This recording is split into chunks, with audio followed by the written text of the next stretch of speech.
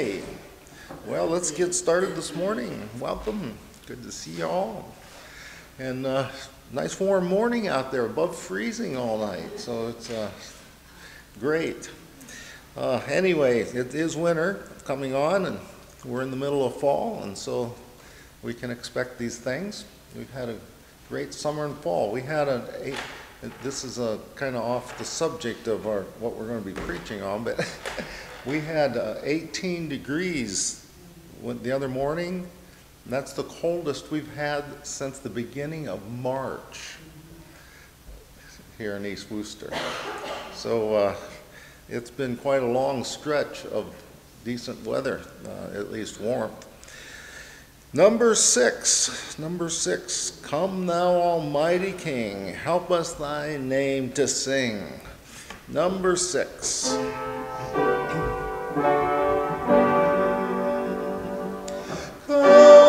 Come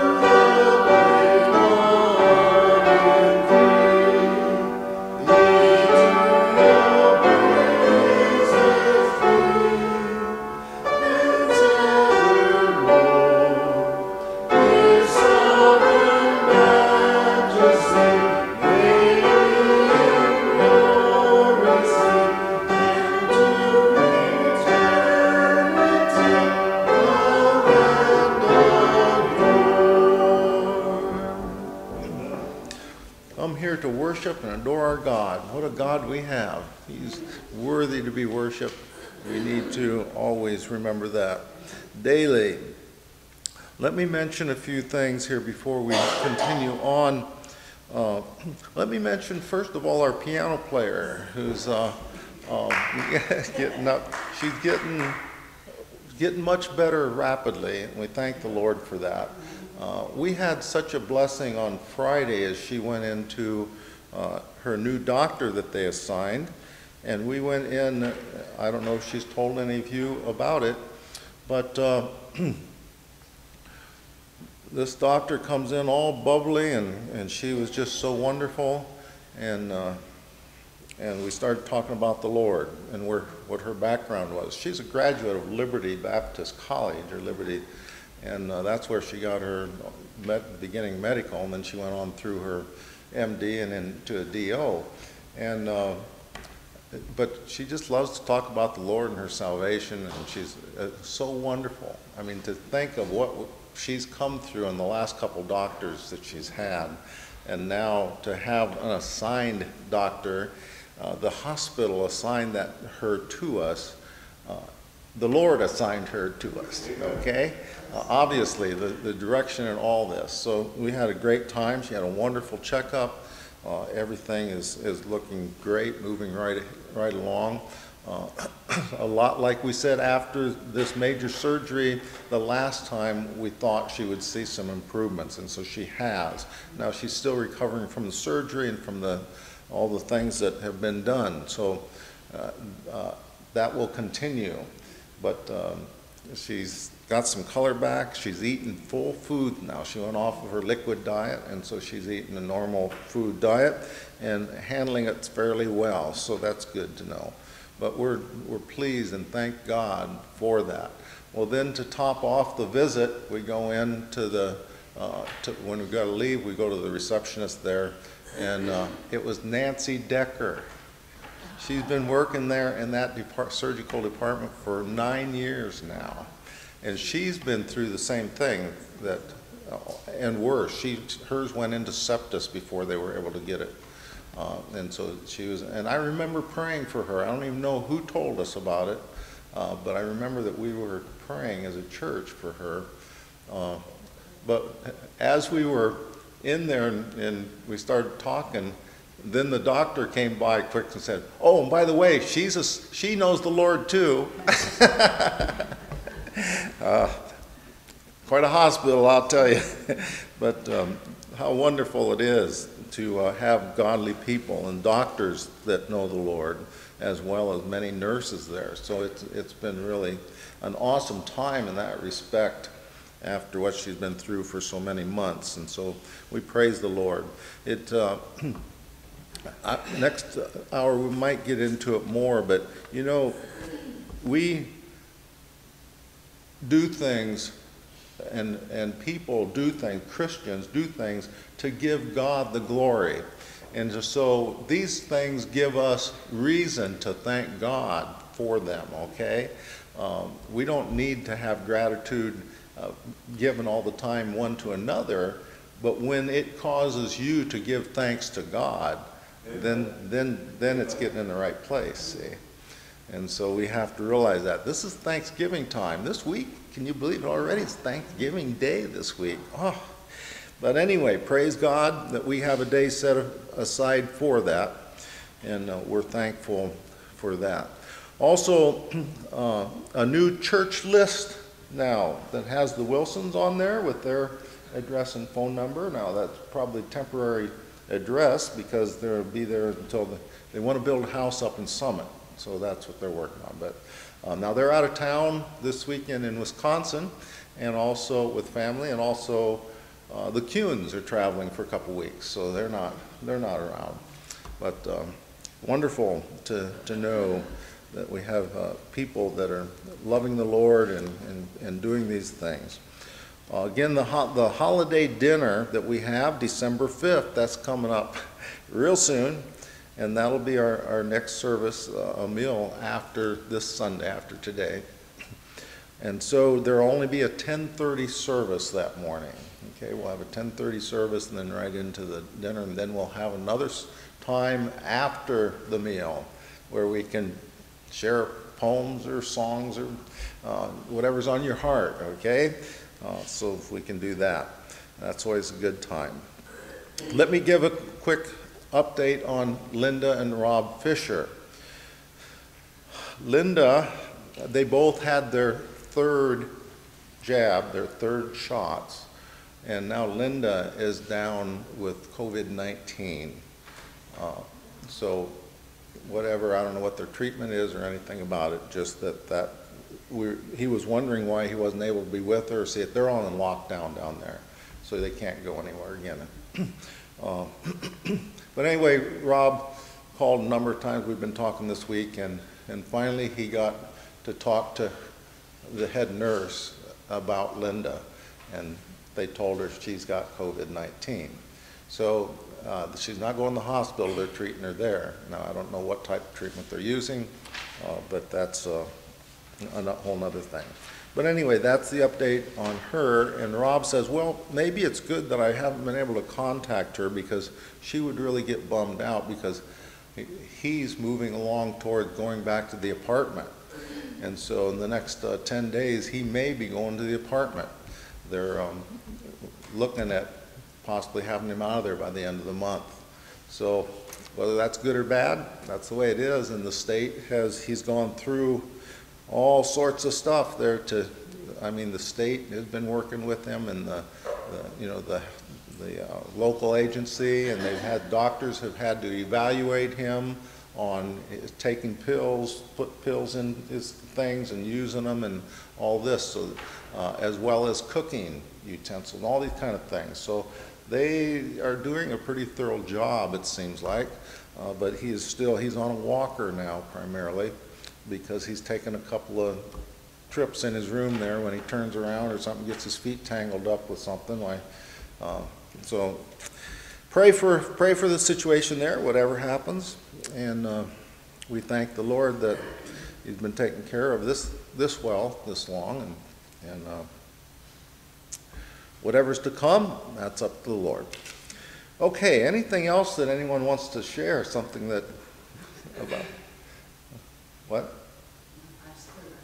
Oh, no, okay. Okay, uh, You, you, you mentioned earlier, you know, that about giving thanks and those that you communicate with. And here, out of the blue, we had somebody come from the town of Delaware, which is down in Sullivan County. mhm, And he's a gentleman about my age. and He mentions, you know, that there's an influx of, uh, city people coming up. And he says, you know, a lot of them Right. are of the Jewish descent. He said, they don't know God the way they should know God. right, And I said, explain. And then he said, well, they just go through the motions, they do the traditions, things like that, but they don't really see God at- for who he is.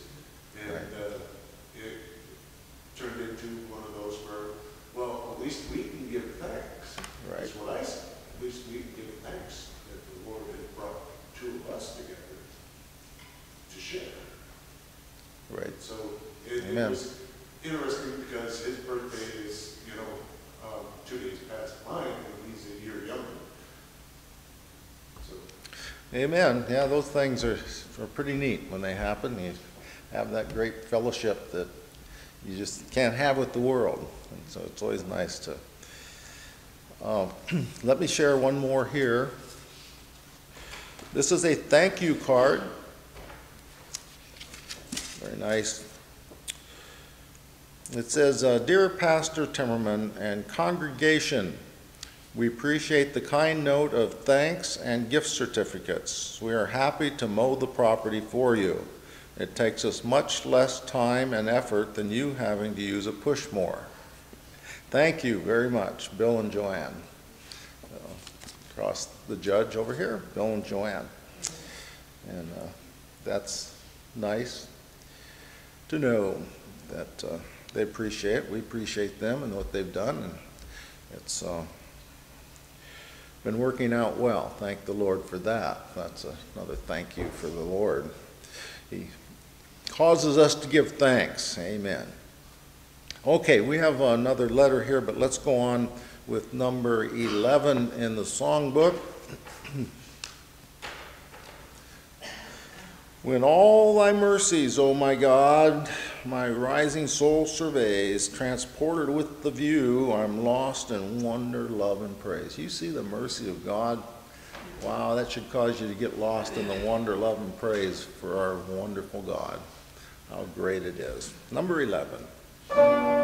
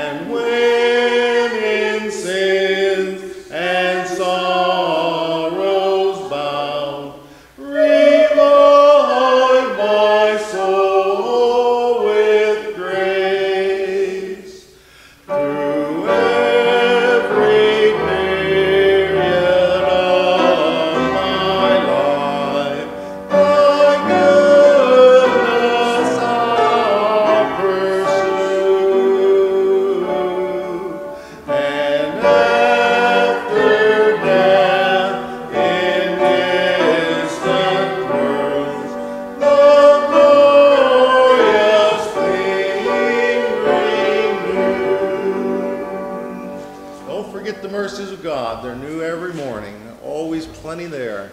Uh, talking about uh, some of the things I've been studying and, and seeing how God God cares. He sends the rain on the just and the unjust. He cares for the lost, for the wicked people of the world. He wants them to see him as a caring God. Can you believe that? That's why he's long suffering, not willing that they should perish. He, he's still waiting for people to come. He's still begging them. He's still showing them. Uh, what a God we have. I mean, to, to have the, the patience and the kindness and the love that he has for man for people that are lost and are fighting against him, and yet he just doesn't want to give up. Uh, what a God, what a God. Number 18, Thanksgiving time. Thank our God with hearts and hands and voices. You know, that's the problem with, the, like you were mentioning, the Jews, and uh, they don't have their heart in it. They do the sacrifices and the lip service and the things that God despises because their heart's not with it. And they don't love Him with all their heart, soul, strength, and mind. now, we're not talking about Messianic Jews, we're talking about the general uh, run of the Israelites of Israel, okay, as a nation. Okay, number 18.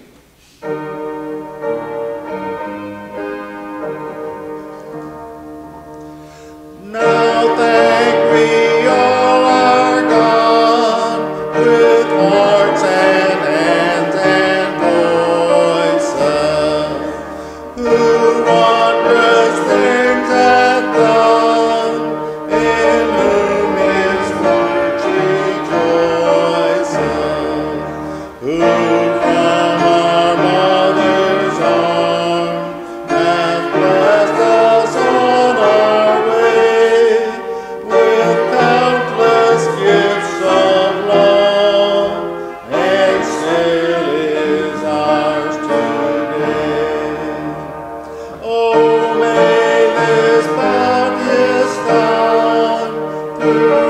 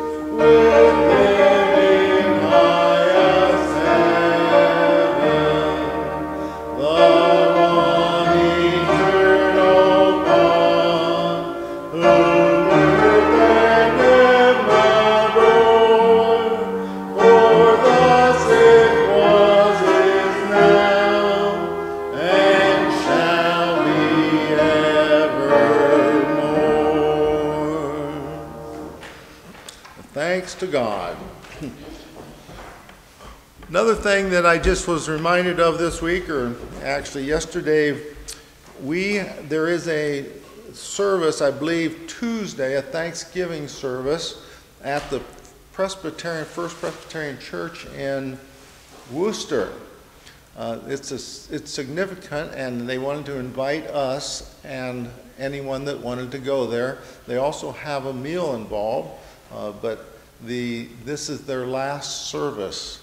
They have- are closing the church, and uh, it's the oldest established church in Worcester. It was established in uh, 1792. And so, I don't know if we're next with 1799, but uh, uh, whatever, they, um, you know, just no people, nobody to keep it running. And so the food pantry and everything is going. And so they, uh, but we were invited to that. If you want more information, I can give that to you. I don't think we're going to make it probably. Uh, But anyway, that's uh, interesting to know. Okay, one more thing here. The a letter from the Smiths just came. Charlie and Joanne. Dear brothers and sisters in Christ, just as a quick note to say thank you to all who have been praying for my return to Buenos Aires. Last Sunday, November 14th, I had the great blessing of preaching the first message in two years in person here in Iglesia Batista Libertad. It was a great blessing to see how the church has grown in my absence. Over half the congregation I have never met, and the love between one another is still very strong. I'm living in an apartment hotel that my pastor and his associates stayed in when they gave the church a blessing of visiting a few years back. It is only four blocks away from the church, and this week, and I will, uh, the following, I shall be occupied visiting many of the church members. Some new ones, but especially those who have not been to church for a few weeks, but came because I was to be there. it was nice to see them, but sad to find out that their habit of attendance is the same as in the past. They attend faithfully, then miss a service, then a few services, then God ch- chastens them, and they return. Hopefully, they will finally give up their old habits and be faithful to God and His command. It is sad to see some of the stores closed permanently because the COVID and the restrictions here are tighter than those in Texas, which I do not mind as I had COVID once and do not wish to have a repeat of it again. Joanne is still alongside her father, taking care of him while I'm in Argentina. She makes me proud how she honors her father when at times he makes it so hard to do. Other times he seems to be doing okay. His knees are getting weaker. Joanne needs to support him by pulling up on his belt while he uses walker the short distance to his destination, usually his recliner. Please keep Joanne in your prayers and ask God to make it clear to her when she can share Christ, as most of the time it is an irritation to her father for her to do so. Thank you again for all your prayers and other sacrifices so that we can serve here in Buenos Aires, Argentina. Charlie and Joanne. So another uh, thing there, and, and there, of course, her dad has always been on their hearts because he's always rejected the Lord Jesus Christ. Take your Bible and turn with me to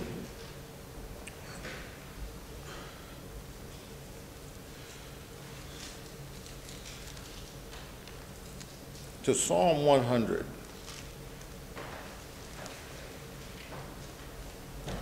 Psalm 100, the old 100, they call it.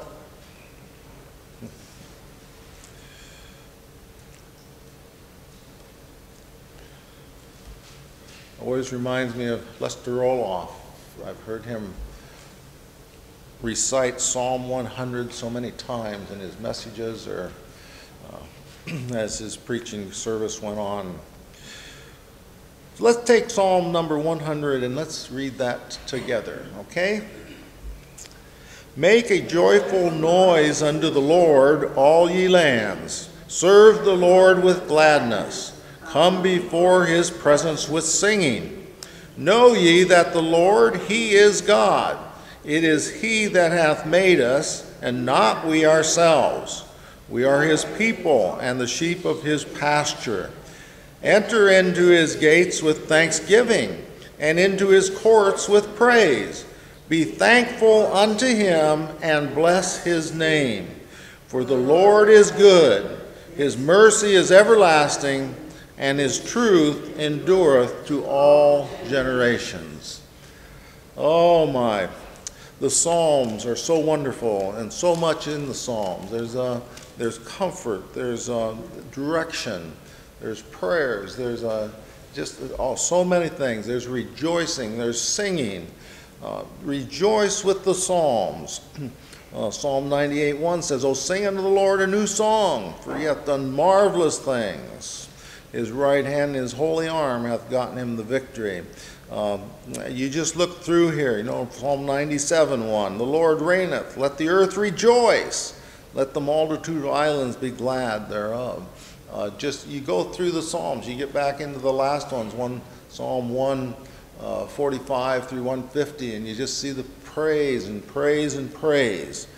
Uh, Psalm 96, oh, sing unto the Lord a new song. Sing unto the Lord all the earth. I thought about that as we sang the, the one song there, in whom this world rejoices, it said in the one stanza. I don't know if you caught that. Uh, in my book, I always have changed that. I said, in whom this church rejoices.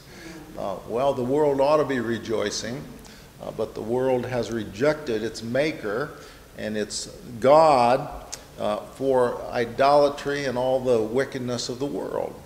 Uh, so, in a general sense, that's true. Uh, the world, as his creation, rejoices even under the curse. And so, uh, the, the trees and the animals and everything else rejoice at their maker. And that's the way it is. Psalm 95 is one that I learned way back when I was a little child. I used to love this psalm. I learned it not from the Bible, I learned it from singing it in our church. And uh, we, we didn't sing it a lot, but occasionally uh, we would sing that, especially at a midweek service or something special, uh, whatever. And it was uh, um, a canticle, a song, a hymn. Uh, many would call it probably a chant that they used, but it was a song set to music. Uh, the first seven verses, up until today, if you will hear his voice, harden not your hearts, uh, because that's the change in the in the uh, psalm that was, is written here. But this one comes, and I'm not going to sing it, although I probably could, because that's what immediately comes to mind, and that's how I remember it. I, I didn't remember it from memorizing it.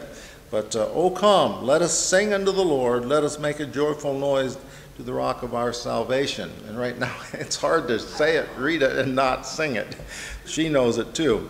Uh, uh, let us come before his presence with thanksgiving and make a joyful noise unto him with psalms. For the Lord is a great God and a great King above all gods. In his hand are the deep places of the earth. The strength of the hills is his also. The sea is his, and he made it, and his hands formed the dry land. O come, let us worship and bow down. Let us kneel before the Lord our Maker.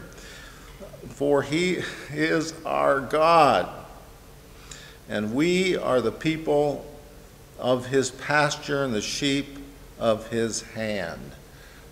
What a psalm. And it's uh, to, these, these psalms about our great God.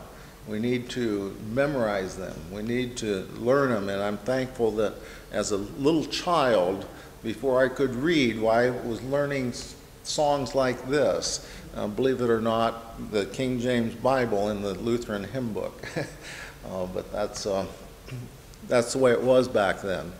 Uh, my dad was an old Bible believer until he passed away at 95. And uh, that's just the way it is. Stand on the Word. We have the Word of God, and we have some wonderful Psalms. Look at Psalm 103.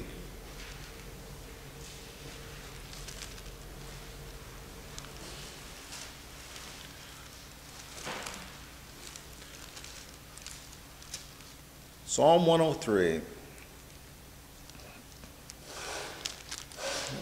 I want to read through this psalm.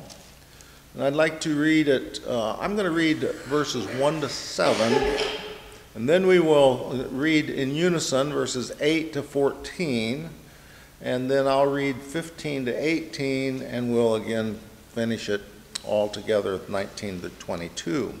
So I'll see if we can put this together. So I'm going to read uh, through verse 7 here. Bless the Lord, O my soul, and all that is within me. Bless his holy name. Bless the Lord, O my soul, and forget not all his benefits, who forgiveth all thine iniquities, who healeth all thy diseases, who redeemeth thy life from destruction who crowneth thee with loving kindness and tender mercies, who satisfieth thy mouth with good things, so that thy youth is renewed like the eagles. The Lord executeth righteousness and judgment for all that are oppressed. He made known his ways unto Moses, his acts unto the children of Israel. Now through verse 14 altogether. The Lord is merciful and gracious, slow to anger, and plenteous in mercy. He will not always chide, neither will he keep his anger forever. He hath not dealt with us after our sins, nor rewarded us according to our iniquities. For as the heaven is high above the earth, so great is his mercy toward them that fear him. As far as the east is from the west, so far hath he removed our transgressions from us. Like as a father pitieth his children, so the Lord pitieth them that fear him. For he knoweth our frame, he remembereth that we are dust. Aren't you glad that he's so gentle with us and that he woos us along? And now, uh, 15 through 18, I'll read. As for man, his days are as grass, as a flower of the field, so he flourisheth. For the wind passeth over it, and it is gone, and the place thereof shall know it no more. But the mercy of the Lord is from everlasting to everlasting upon them that fear him. Hey, that's a long time, isn't it? Everlasting to everlasting. Ooh, glory to God. Amen. Uh, the mercy of the Lord is from everlasting to everlasting upon them that fear him, and his righteousness unto children's children, to such as keep his covenant, and to those that remember his commandments to do them.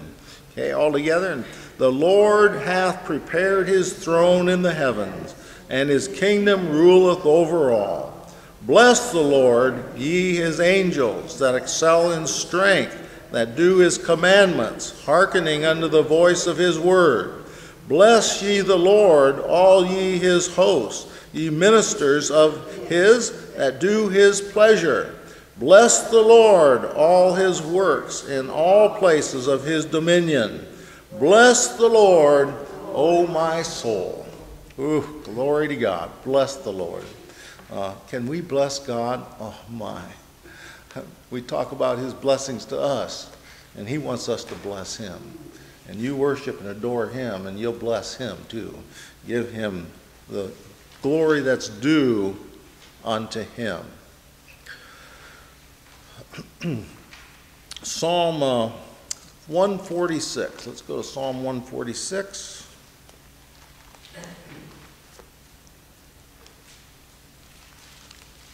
Psalm 136 is the one that uh, has the refrain at after each verse.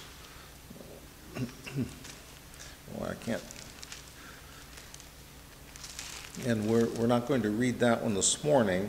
It's the one, oh, give thanks unto the Lord, for he is good, for his mercy endureth forever. So everything that Israel uh, and when it accounts what they went through in the Red Sea, it's His mercy endureth forever. Uh, now in Psalm 146. Let's read this every other verse. Uh, I'll read the first, and then you guys on the second, and so forth. Okay? Psalm 146. Praise ye the Lord. Praise the Lord, O my soul.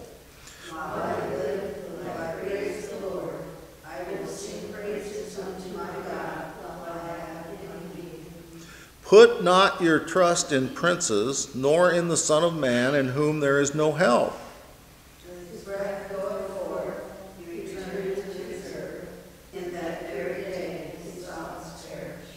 Happy is he that hath the God of Jacob for his help, whose hope is in the Lord his God. Which made heaven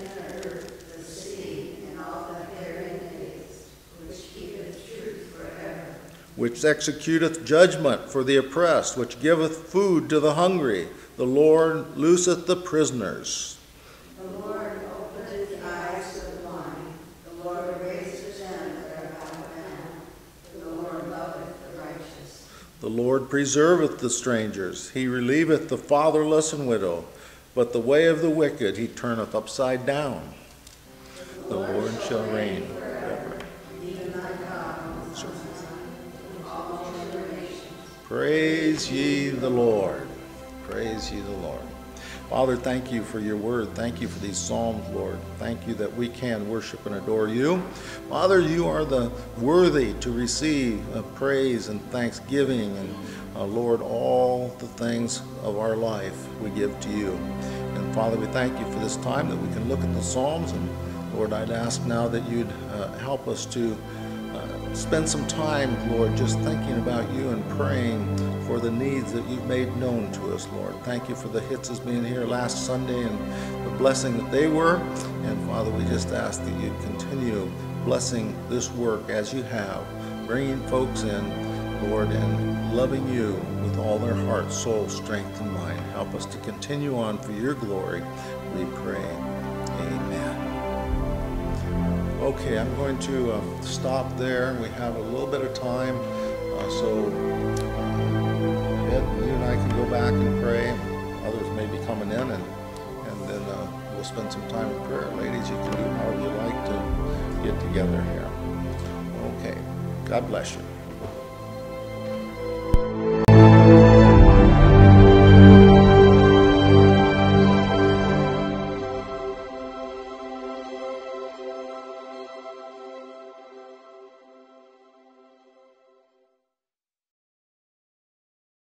Hello, this is Pastor Paul. Thanks for watching. Now subscribe if you'd like to see more messages like this. Share with your friends. Uh, hit the like button. Post any comments that you might have or questions below, and we'll get to you. Come out and visit us. Church times 9:30 and 10:30 Sunday mornings. East Worcester, New York. Look forward to seeing you. God bless you. So the majority of your Christians believe in that. Amen.